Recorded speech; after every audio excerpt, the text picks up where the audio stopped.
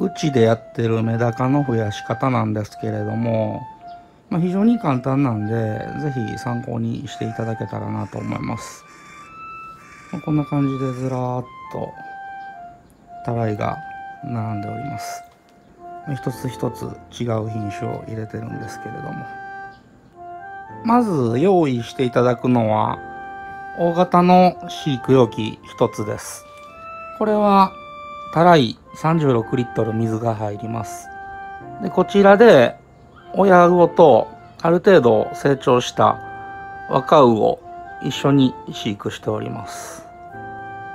もう一つ準備していただきたいのは、卵と生まれた稚魚を管理するための飼育容器です。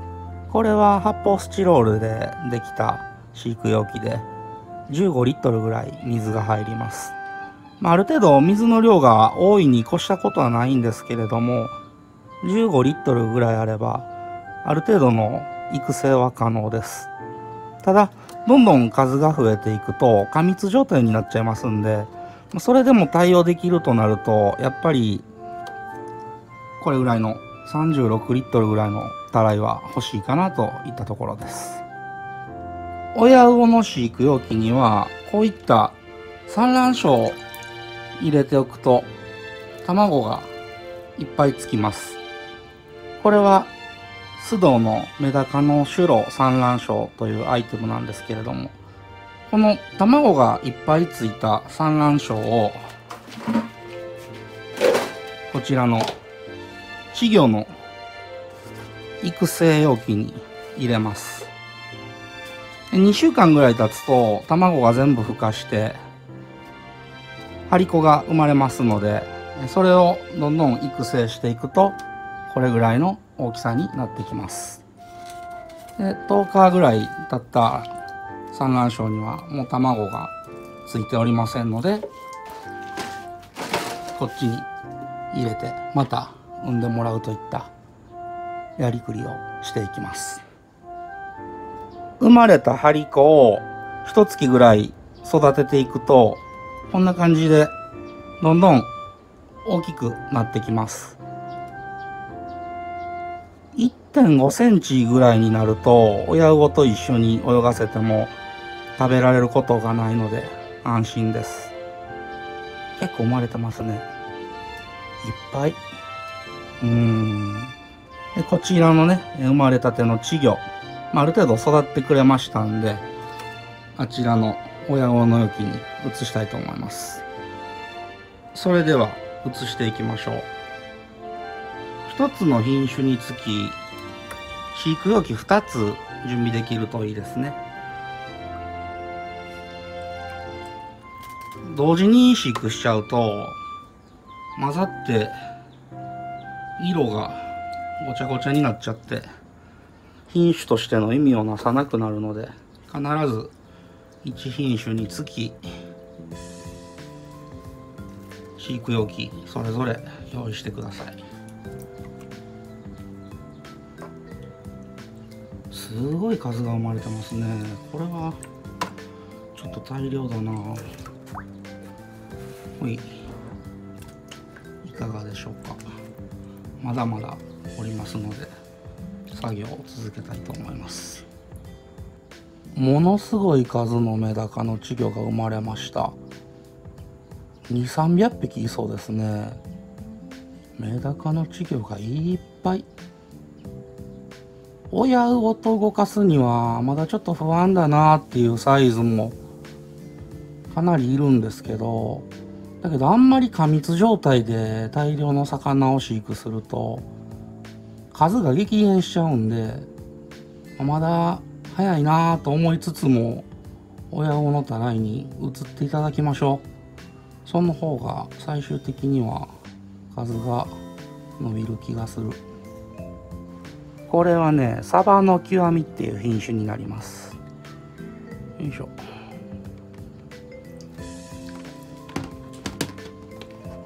メダカってね、やっぱり、魚ですからね、まあ、賢くはないんですよ。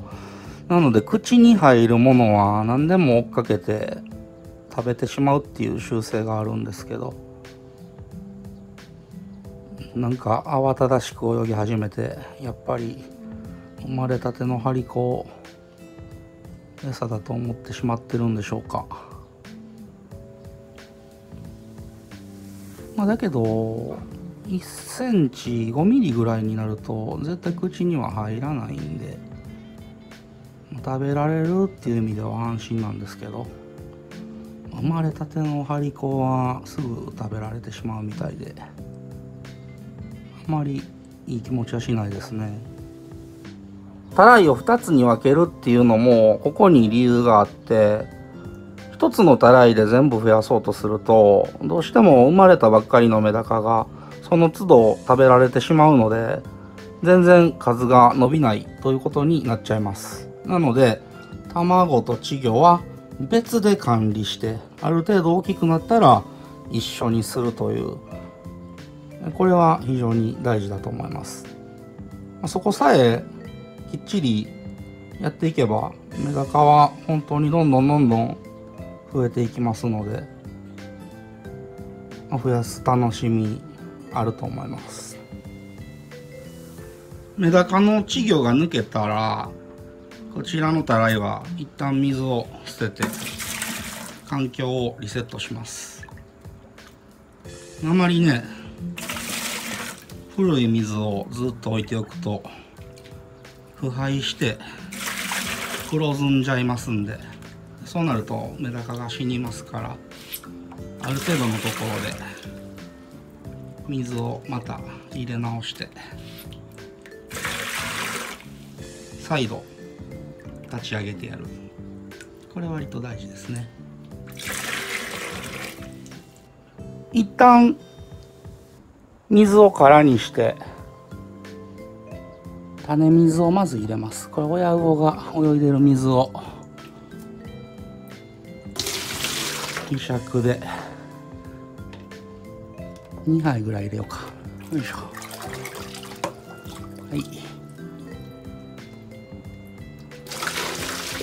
これ種水ですね。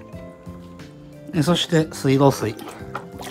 カルキ抜きとかは特にしてません。カルキって言っても所詮塩素なんでそんなに魚にとってそこまで悪いものでもないというか。僕は気にしないですね。でこうして水を入れていきます。